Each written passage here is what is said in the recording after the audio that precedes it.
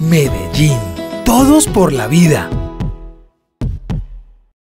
Eh, estamos felices y contentos con el desarrollo del fútbol en Antioquia, los dos equipos, los tres con Envigado, que les van tan bien.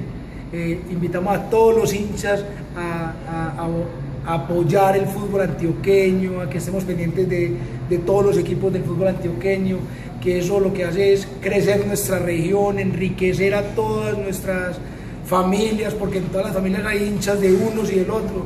Entonces, entre mejor nos vaya a todos, mejor. Entonces vamos a apoyarnos entre todos y vamos en un fútbol en paz, vamos a ser amigos y a disfrutar del fútbol todos en familia.